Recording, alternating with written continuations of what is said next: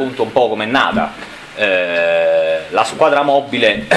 in particolare in questo caso assolutamente la sezione, la sezione narcotici, l'antidroga, quotidianamente predispone dei servizi eh, in strada per, eh, per, la prevenzione, per il contrasto, per la repressione di tutti quelli che sono i, eh, i reati legati al commercio degli stupefacenti. A volte va bene, a volte va male, nel senso che spesso eh, non, magari non si ritorna a casa senza risultato, a volte per la caparbietà, l'abilità e la professionalità del, del personale che io ho a disposizione invece si hanno risultati del genere. In particolare nella, nella mattinata di ieri il personale era, era su strada, girava come ogni giorno fa per le strade della nostra città, nei pressi del tribunale eh, notava un furgone che in un primo momento diciamo, non destava particolari sospetti, però se lo sono tenuti a mente questo furgone, tant'è che continuando nel loro giro di, eh, di, di pattugliamento, ripeto, eh, sono arrivati in via circonvallazione dove hanno notato nuovamente questo furgone. E a distanza, diciamo a questo punto l'hanno osservato perché poi, come vi dirò in seguito, è un furgone adibito al trasporto del pane però in nessuno diciamo, delle, due, eh, delle, due, strade dove era stato notato vi erano eh, né supermercati né negozi né tantomeno sembrava che quel furgone stesse facendo la consegna del pane. Quindi hanno notato in via circonvallazione del furgone, a distanza si sono tenuti per capire un po' cosa facesse il soggetto che la guidava. Questo soggetto a un certo punto si è incontrato con un altro, con un altro soggetto noto eh, invece diciamo, eh, al, al, nostro ufficio per essere tra l'altro anche stato denunciato nei mesi, nei mesi precedenti eh, proprio per, eh, in materia di stupefacenti. Quindi a quel punto una volta che eh, diciamo, avviene l'incontro all'interno del furgoncino e i due si salutano, il personale ovviamente decide di intervenire e procedere al controllo di entrambi. Il soggetto già noto come ho detto, eh, al nostro ufficio, perquisito veniva trovato in possesso di, un, eh, di una stecchetta appunto di, eh, di hashish, di sostanza stupefacente, questo non ci ha sorpreso molto. Anche l'altro soggetto, in effetti, eh, veniva trovato, eh, quello che guidava ovviamente il furgone, veniva trovato in possesso anche lui di, un, di due piccoli pezzetti di hashish. Oltre che la cosa che ha cominciato un po' a insospettire, eh, tre di questi cinque coltelli che vedete ce li aveva lui in questo furgone e se l'avete potuti eh, osservare bene, vedete che le lame sono intrise della sostanza marrone che poi ovviamente si è rivelata essere anch'essa eh, stupefacente. Abbiamo portato i due soggetti in ufficio, uno dei due soggetti è stato segnalato amministrativamente, il soggetto di Avellino, quello già noto, ed è andato via. L'altro soggetto ci abbiamo voluto pensare un po', perché come dire, ci sembrava un po' strano eh, due cose, anzitutto il possesso di questi, eh, di questi coltelli, il fatto che questo, questa persona che eh, abita a Calvizzano, quindi provincia di Napoli, quindi anche abbastanza lontano da qua, fosse venuto dire, ad acquistare fino ad Avellino un po' di stupefacente. Poi, diciamo, dai primi accertamenti fatti in ufficio, eh,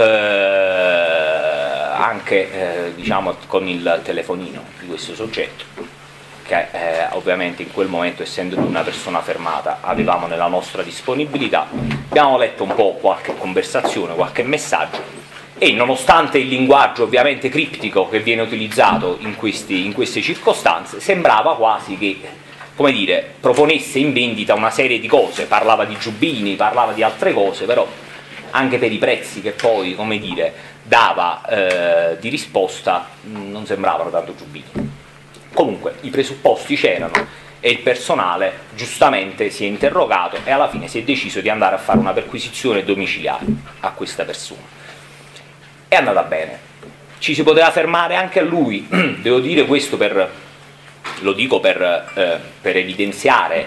eh, veramente in questo, più che magari in tanti altri casi, la, la bravura del personale, perché comunque ci si poteva fermare tranquillamente anche a lui all'idea che fosse un semplice assuntore, vista la modica quantità rinvenuta nel suo possesso, e quindi anche lui segnalarlo amministrativamente. si poteva fare, nessuno ci avrebbe potuto dire nulla. Però ribadisco e tendo a sottolinearla, la bravura del personale invece è stata quella, ci si è fermati,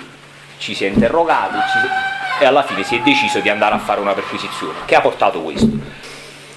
E all'esito della perquisizione in vari posti della casa, sia eh, in un, eh, in, sopra un mobile della cucina, in un vano cantina e quindi distribuita in varie parti della casa, alla fine si sono rinvenuti 16 kg di, di hashish, che potete vedere, suddivisi in eh, tagli da 50 grammi 100 grammi, 250 grammi. 250 grammi sono ad esempio questi, che vengono eh, chiamati volgarmente saponette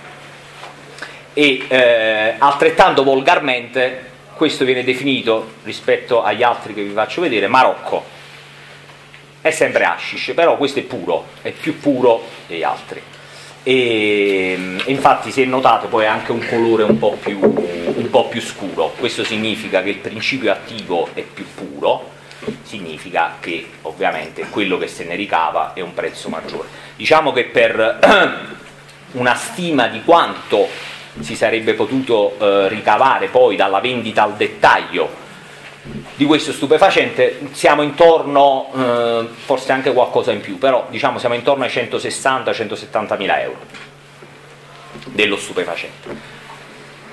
Rinvenuto insieme allo stupefacente 50 mila euro in contanti, come vedete già eh, tra l'altro eh, in mazzette da 5 mila euro ciascuna, e 52 proiettili calibro 9 52? 52 sono i proiettili calibrati. La persona poi ovviamente eh, ci abbiamo pensato un po', però alla fine l'abbiamo arrestato. L'abbiamo portato al carcere di, di, di Poggioreale. Ma è pregiudicato, chiedo scusa. La persona è una persona, anche in questo, ripeto, e lo, eh, fa, mm, ha fatto bene a dirlo, l'avrei detto dopo, eh, è una persona incensurata. Incensurata e ha anche un lavoro. Lui tra, tra, eh, evidentemente come tanti altri dipendenti di questa ditta, distribuisce il pane. Distribuisce il pane eh, praticamente a quanto ci risulta forse in tutta la regione Campania, quindi una grossa distribuzione di pane che parte dalla, da quella zona là, diciamo di Napoli c'è questa ditta,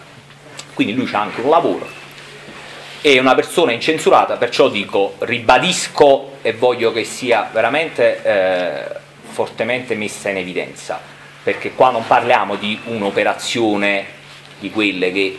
da mesi si sta dietro a delle persone e zac si fa il colpaccio, non dico che è facile farlo in quel caso comunque, però sicuramente è ancora più difficile farlo per come è stato fatto ieri dal personale nostro. E quindi anche il fatto che fosse un incensurato, che fa panettiere, che teneva poca, eh, poca sostanza addosso, veramente ci si poteva limitare come spesso si fa e come di solito evidentemente così è alla segnalazione amministrativa eh, ai sensi dell'articolo 75 e invece non si è fatto. E io veramente lo voglio dire pubblicamente questa cosa che eh, il personale è stato veramente, veramente, veramente professionale, io lo conosco da poco questo, il mio personale perché sto qua da due mesi ma quello che avevo anche soltanto semplicemente intuito ieri non ho avuto la dimostrazione e quindi possiamo tranquillamente dire che la squadra mobile ha interrotto un importante flusso di, eh, di, di, di ingresso di sostanza stupefacente nella nostra città.